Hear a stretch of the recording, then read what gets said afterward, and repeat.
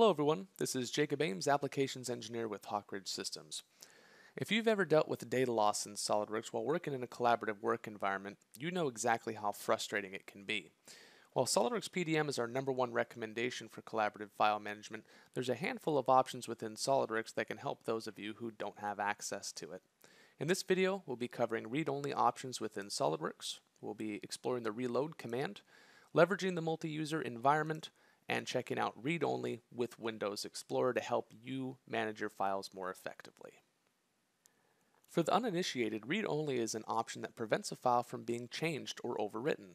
When opening a SOLIDWORKS file, for example, use the Open drop-down menu to open a file read-only. It's as simple as that. Usually, files are opened read-only when somebody else on your network has write access to them. It's important to understand that when opening a parent document like a drawing or an assembly, the child components are not loaded read-only by default. You can see here in my File Explorer list of Open in SOLIDWORKS, only the keyholder assembly is listed in orange, illustrating that it is the only file that's been opened read-only. If you'd like to force SOLIDWORKS to automatically load all the child components read-only as well, this can be accessed in the System options under External References. The first checkbox, open reference documents with read-only access, enabling this will force all the child components to load as well. If you choose to use this option, we also recommend choosing the second checkbox to avoid excessive read-only save prompts. If I then reload the same assembly using our read-only mode, when we revisit the Open in SOLIDWORKS area of File Explorer, you'll see that all the components are listed in orange, indicating that everything is read-only. The two instances of SOLIDWORKS shown here represent two separate users on the same network. On the left, we have the assembly user who has only the assembly loaded into memory while leaving write access to the child components to somebody else.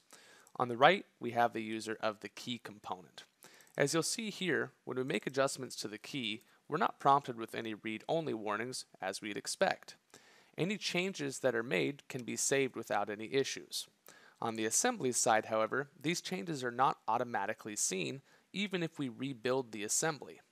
This is where the reload command comes in. Reload can be used to check the disk for newer copies of the components and to check who has write access. If any components need to be updated, simply click OK and SOLIDWORKS will load the current copy from the disk. This can be a little difficult as a manual process though, so going to options and enabling the collaborative environment can make this significantly easier. Access the collaboration tab, enable the multi-user environment, and you can choose to check if files open read-only have been modified according to a prescribed time period, in this case 20 minutes. There's also a check read-only files command that you can enable to trigger this process manually. If SOLIDWORKS detects any out-of-date files, the reload command will automatically be started and those components can be reloaded.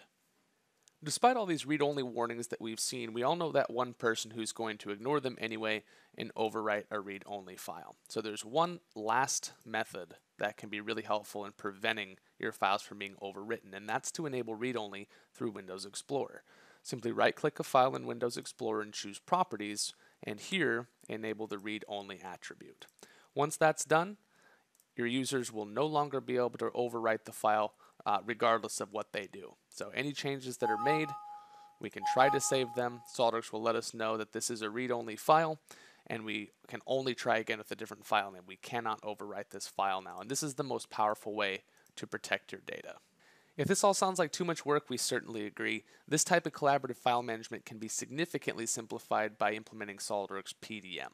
Workflows and file management practices can be customized and standardized for your organization, ensuring that design and engineering data remains safe and secure despite the best efforts of the new employee.